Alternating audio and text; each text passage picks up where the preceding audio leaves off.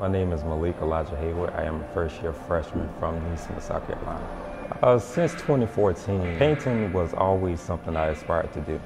Like being in the art room doing break while the other students are outside socializing. So that's how I wanted to enhance my art skills.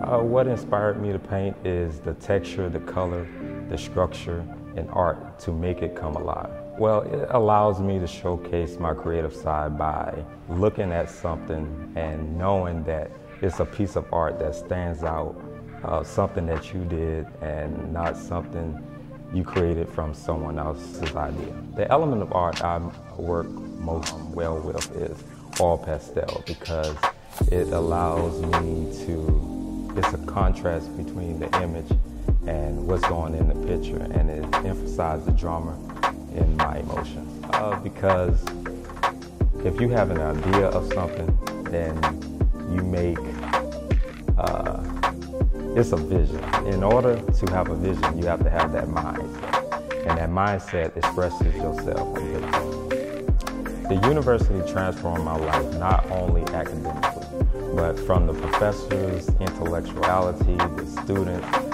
uh, you get to know them, and you also learn from the students. So it's to help, it's to give you tools that's necessary to be successful in life. Well, in the eye of creativity, I see myself uh, as a doctor teaching the kids uh, the structure, the culture, and the life of art because there are many kids that have a vision and everybody's vision is not the same.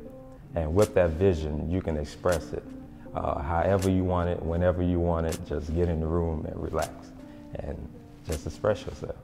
And I just want to be able to teach and have fun with something I love to do. I am a young artist exploring